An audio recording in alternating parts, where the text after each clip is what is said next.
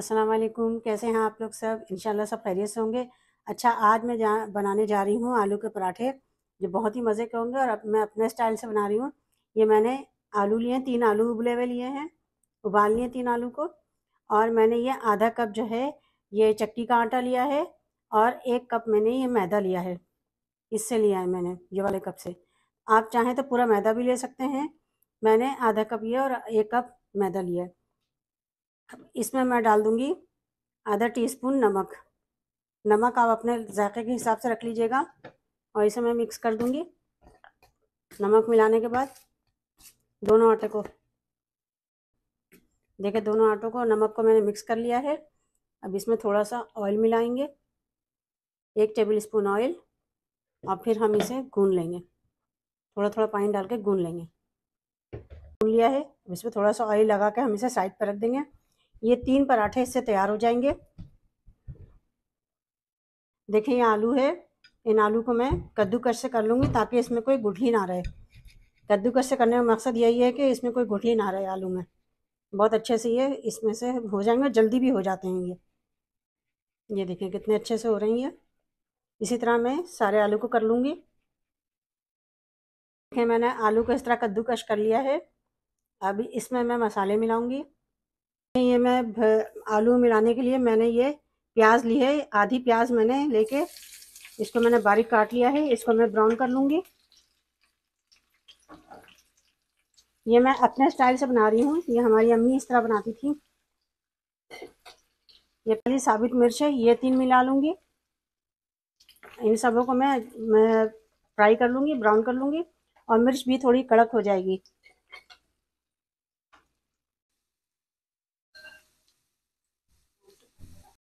देखें, प्याज भी ब्राउन हो चुकी है और मिर्च भी तला गई है, इसे हम निकाल लेंगे। तेल बिल्कुल छान के निकाल लेंगे हम। अच्छा देखें, मैंने ये आलू है, ये प्याज मैंने निकाली है, ब्राउन की भी प्याज और ये मिर्चें हैं, मिर्चें भी थोड़ी फ्राई होने के बाद देखें, सख्त सी हो गई है। ये भी हम इसमें डाल लेंगे, इस तरह करके हाथ से तोड़ के डाल लेंगे। देखें, मैंने मिर्च इसमें तोड़ दी है, क्योंकि तलने की वजह से खस्ता हो गई थी ये, बिल्कुल टूट गई है। और ये प्याज, ये भी खस्ता हो गई है तलने की वजह से। इसे भी मैं इसमें डाल दूँगी। ये हमारी अम्मी बनाती थी, हम उसी तरीके से बनाते हैं। आप लोग किस तरीके से बनाते हैं, आप बताइएगा।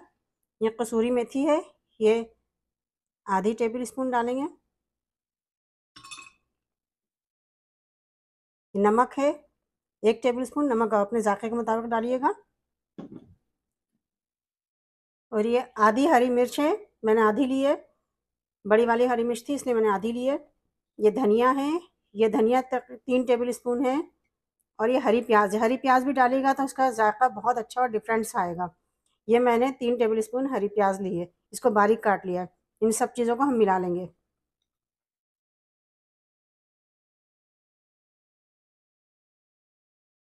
ये देखिए, इन सबको हम अच्छी तरह मिला लेंगे। बहुत अच्छा सा ये भुरता टाइप का तैयार हो जाएगा, जो हम रोटी में फिल करेंगे। ये देखें, भरता बन गया है, अब हम चलते हैं पराठे में इसको फिल करके बनाएँगे। अच्छा देखें, पहले हम पेड़े बनाएँगे। हम कुछ कांटा डाला हमने। देखें।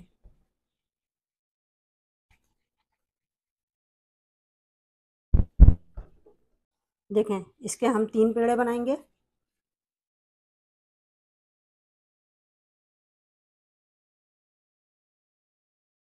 बराबर से हम बनाएँगे तीन पेड़े।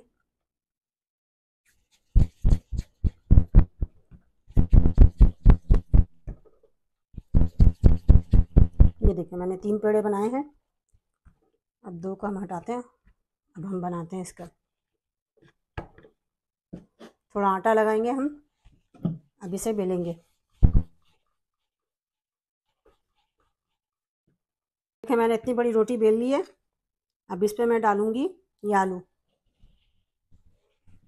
ये आलू। इस पर पूरा फैला लूँगी मैं। देखें मैंने इस पर आलू पूरा फैला लिया है। मैं दो तरीके से आपको बताऊँगी, आपको जो तरीका अच्छा लगे आप उस तरीके से बनाइएगा। देखिए आलू फैला लिया। अभी से हम इस तरह फोल्ड करेंगे। इस तरह फोल्ड किया। फिर यह हम इस तरह फोल्ड करेंगे इसे। थोड़ा बेलन से इसको लंबा करेंगे। हल्का हाथ रखना है, वरना फट जाएगा। देखें। अभी से हम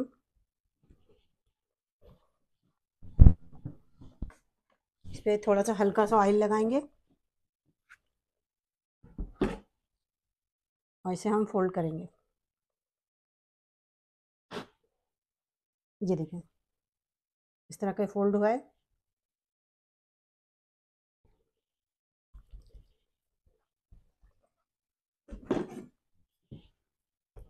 देखें इस तरह फोल्ड हुआ है, अब इसे हम सेंटर से काट लेंगे। तेज़ छुरी लेनी है, नहीं तो आप धागे से भी ये प्रोसेस कर सकते हैं। ये देखें, ये इस तरह का होगा, अब इसे हम बेल लेंगे। एक तरीके से हुआ एक हमने एक पेड़े से दो पराठे बनाए। अब हम दूसरा तरीका जो बताएँगे, उसमें एक पेड़े से एक पराठा बनेगा। देखें, इसे हम थोड़ा आटा लगाएँगे दोनों साइड से। और इसे हम हल्के हाथ से बेलेंगे। देखें, ये इस तरह का एक पराठा हुआ है। इसे हम हटाते हैं। अच्छा देखें, दूसरा तरीका ये है, रियल तरीका जो है, वो ये है। थोड़ा सा हमने पेड़े बड़े, बड़ा किया, पेड़े को। अब इसमें हम डालेंगे ये आलू। पूरा फिल कर देंगे।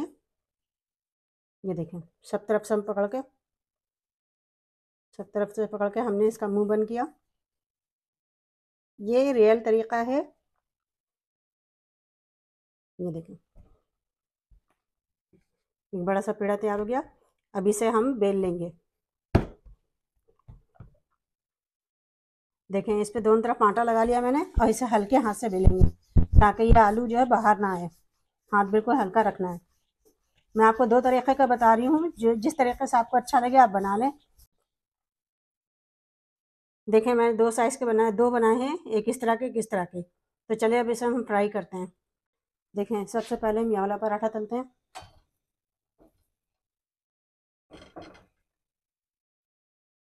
देखें, इसे हम पलटते हैं।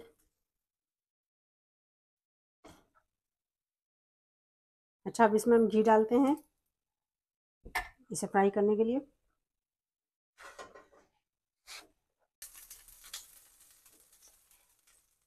अच्छा इसे रखते हैं ये देखें। क्रिस्पी सा पराठा है ये।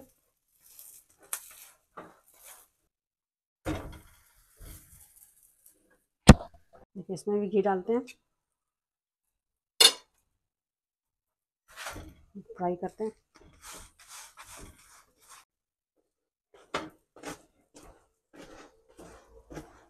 ये देखिए कितना अच्छा सा फ्राई हो गया ये पराठा हमारा। क्रिस्पी भी है बहुत अच्छा है।